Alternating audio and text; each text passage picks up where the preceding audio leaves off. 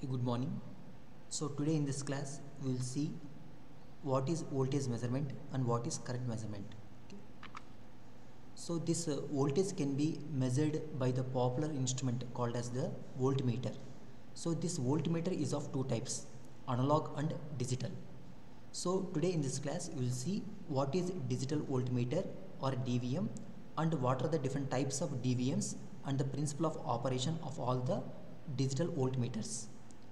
So digital voltmeter is a measuring instrument that converts the analog voltage signal into a digital or numerical readout. So we can also measure the analog voltage, voltage signals by using DVMs. So any DVM is capable of measuring analog DC voltages. So these DVMs have various features like speed, automation, operation and programmability. So there are several varieties of digital voltmeters. So all the digital voltmeters are going to be differing one by one based upon these parameters here. That is based upon the number of digits, number of measurements, accuracy, speed of reading, digital output of several types. So based upon these parameters, we are going to be differing different types of digital voltmeters. So what are the advantages of digital voltmeters compared to analog voltmeters? Means in analog voltmeter, the major drawback is the parallax error. So parallax error is going to be occurred due to the movement of the pointer on the scale. So that parallax error can be overcome by using DVMs, digital voltmeters. So as in the digital voltmeters, we are going to be getting the value of the measured voltage in terms of numerical readout. So then the movement of the pointer on the scale is overcome in the DVM, digital voltmeter. So the main advantages of the DVMs are it reduces the human error, eliminates parallax error, increases reading speed and often provides output in digital form suitable for further processing and recording. Okay. So these are the advantages of DVM compared to the analog meters. So first we will see what is the ramp type DVM and what is its principle of operation. Okay. So in the ramp type DVM the main blocks are the ranging and input attenuator. So for this ranging and input attenuator we are giving the test input what we have to measure. Next input comparator, uh, ground comparator, ramp generator, sampled rate multivibrator, oscillator, gate, counter and readout. So these are the various blocks in the ramp type DVM, digital voltmeter. So the main principle used in the ramp type DVM is voltage to time conversion.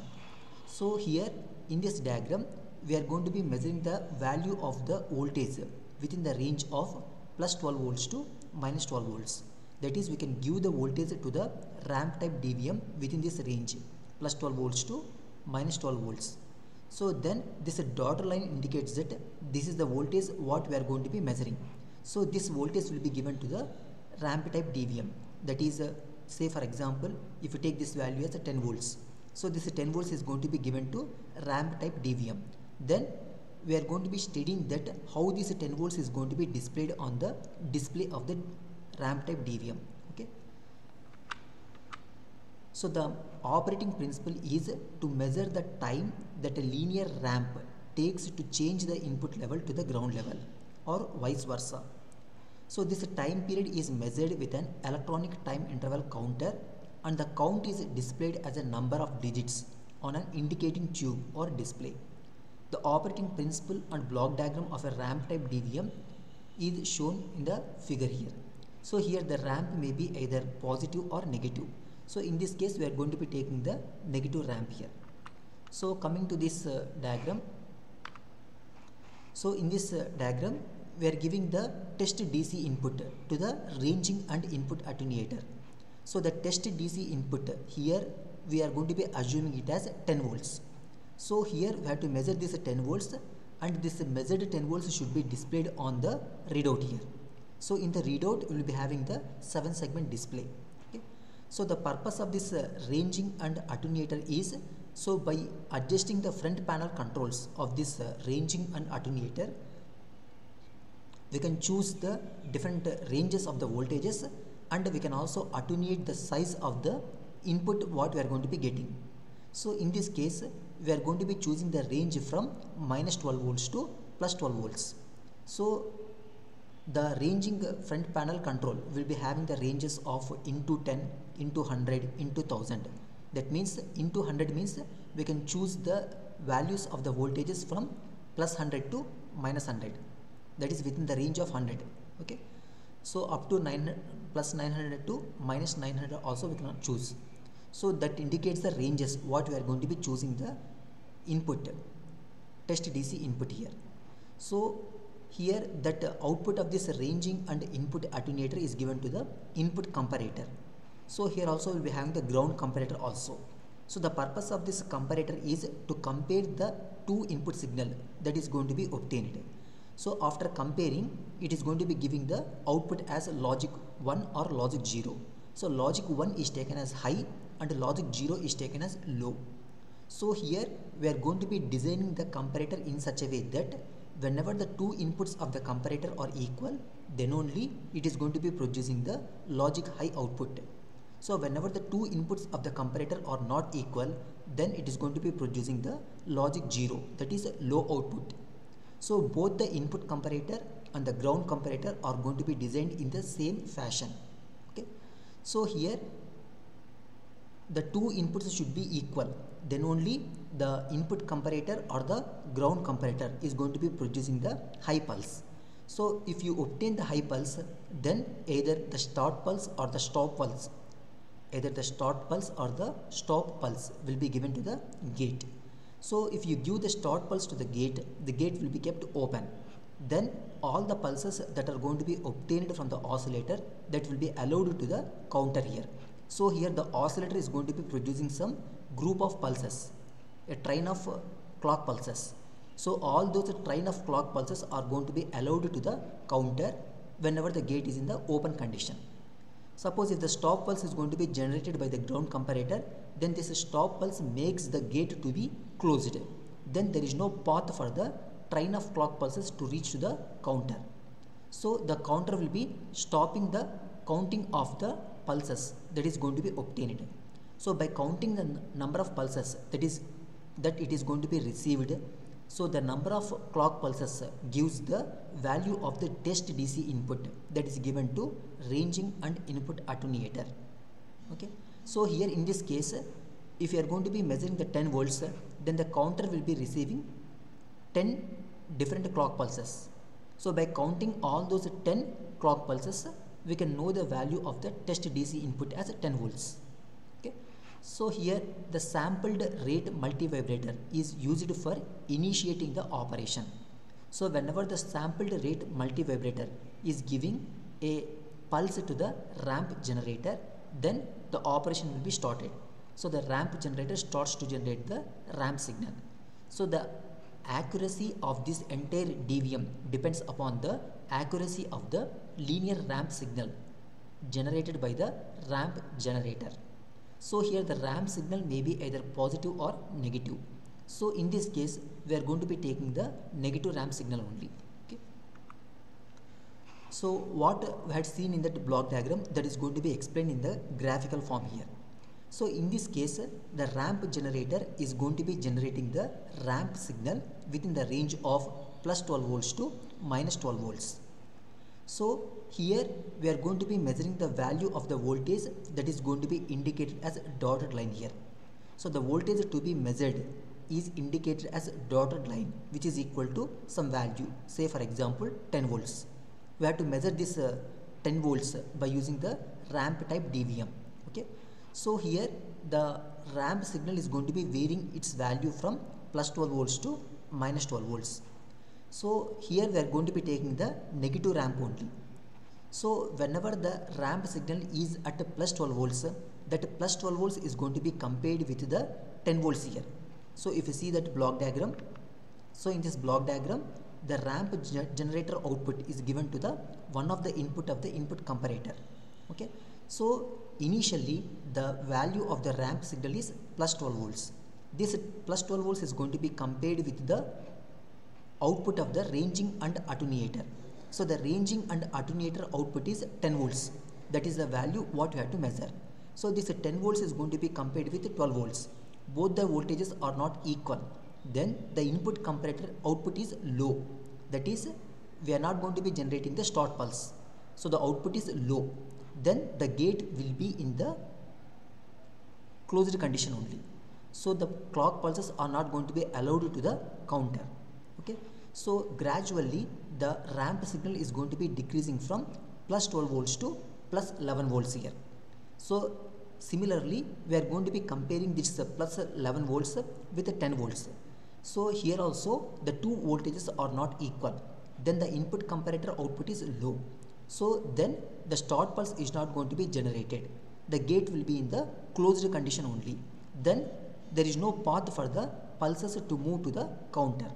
So in the next case, whenever the ramp generator output is going to be falling from plus 11 volts to plus 10 volts.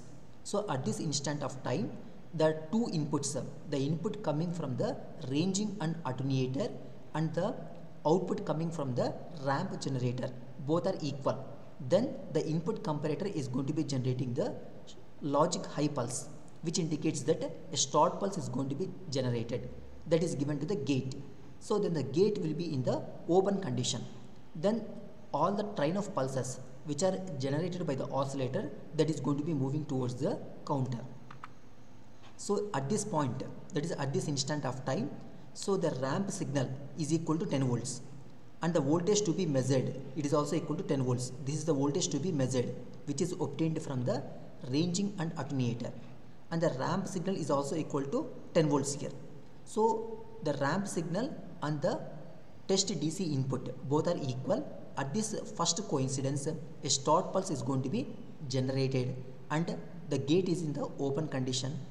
Then all the pulses which are going to be coming from the oscillator that will be counted by the counter. Okay. So gradually this ramp signal is going to be decreasing from 11 to 10. So if it is uh, falling to 10 volts uh, sorry uh, 10 to 9 if it is equal to 9 volts then this 9 is not equal to the test DC input that is 10 volts. So then at that instant of time we are going to be considering the ground comparator okay? So if you see this diagram so in this diagram we will be having the ground comparator also. So this ground comparator other input is 0 0 volts. And the other input of the ground comparator is coming from the ramp generator. So whenever the output of the ramp generator that is linear ramp becomes 0 volts then the ground comparator is going to be generating the stop pulse. Okay. So whenever this stop pulse is given to gate the gate will be in the closed condition. So then there is no path for the train of pulses to move towards the counter.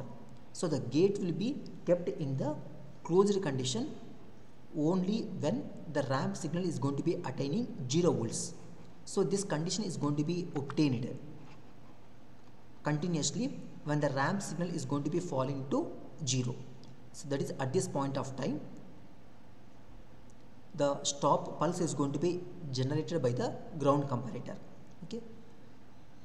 So during this time interval that is during the first coincidence and the second coincidence all the pulses which are going to be obtained from the oscillator that will be counted by the counter and that value will be given in the form of a digital value in the readout.